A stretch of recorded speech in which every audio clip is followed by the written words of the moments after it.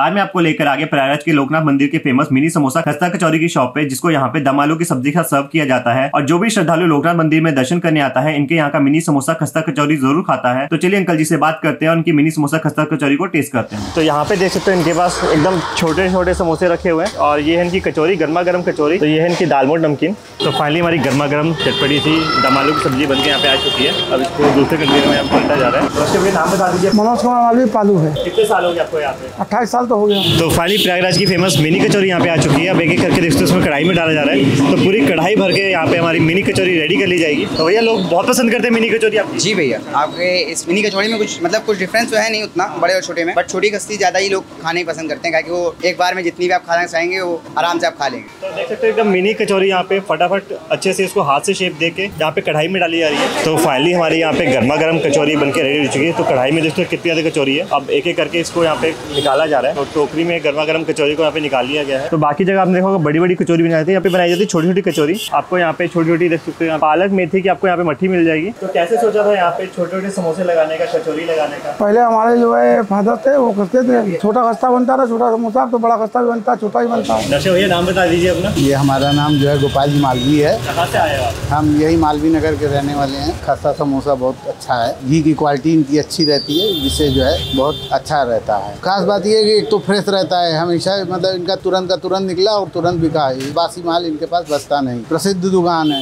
और प्राचीन भी है मतलब कम से कम सौ साल से ज़्यादा पुरानी इनकी दुकान है। इसकी वजह से जो है इनका खस्ता बढ़िया रहता है। तो कितने साल से आ रहे हैं यहाँ पे? हम यहाँ कम से कम चालीस साल से। अन्य जगहों पे अन्य शहरों में जाएँगे तो दमालू जो है आपको इलाहाबाद का सबसे बढ़िया मिलेगा टेस्ट के मामले में। तो हमारी यहाँ पे प्लेट लगाई जा रही है जिसमें की दो छोटी छोटी कचोरी रहती है दो छोटे समोसे रहते हैं साथ में रहती है दम आलू की सब्ज़ी। तो यही इसका स्वाद एकदम बढ़ा देती है और ये आगे ऊपर से नमकीन तो कितने रुपए की प्लेट रहती है?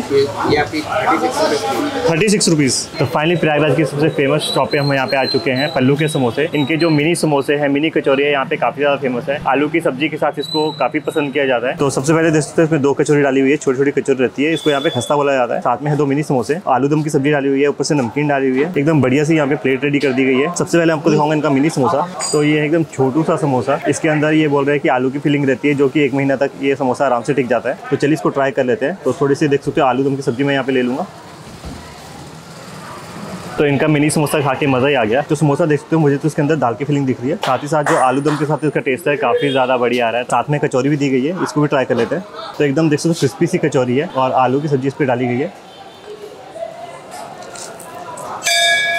तो कचौरी के अंदर भी आप देख सकते हो जो स्टफिंग आपको समोसे के अंदर मिलेगी सेम स्टफिंग आपको कचौरी के अंदर मिलेगी। टाइमिंग क्या रहता है दुकान का? सवेरे नौ बजे करीब बनता है। नौ बजे का दस बजे तक। और हफ़्ते में दुकान कितना दिन खुली रहती है? वहाँ सब दिन खुलती है बंद नहीं होती। तीन सौ पैंसठ दिन खुलती है। खाली होली बंद होती है वो दो दिन लग चलता है बस बाकी हर दिन खुलती है। तो दुकान का नाम और एड्रेस बता दीजिए कहाँ पे है लोकनाथ मंदिर के पास साफ़ परा में पालू नमकीन मंडार प्रयागराज। तो अगर अभी प्रयागराज में रहते हो विज़िट कर रहे हो और लोकनाथ मंदिर विज़िट कर रहे हो तो यहाँ पे आके इनके समोसे कचौरी टेस्ट कर सकते हो। एकदम बढ़िया बनाते हैं। बात करें इसकी प्राइस की इसका प्राइस है थर्टी सिक्स रुपीज़ मात्र छत्तीस रुपये में आप आराम से यहाँ पे कचौरी समोसे का मज़ा ले सकते हो। तब इस मिनी समोसा, मिनी कचौरी को मैं यहाँ पे जल्दी से फिनिश करता हूँ और मिलता से नेक्स्ट वीडियो में।